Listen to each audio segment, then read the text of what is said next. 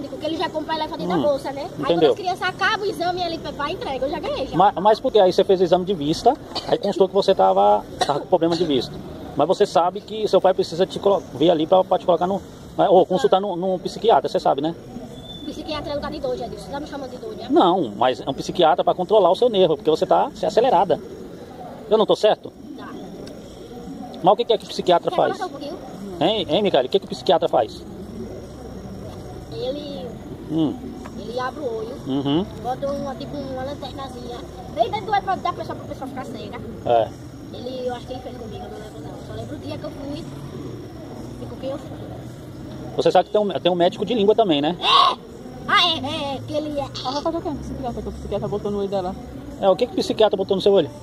Uma lanterna bem forte do meu olho e eu, eu que tinha dentro. Porque a mãe dela levou ela no psiquiatra. E por que que sua mãe te levou no psiquiatra? É isso que eu quero saber. Pra fazer o exame de vista!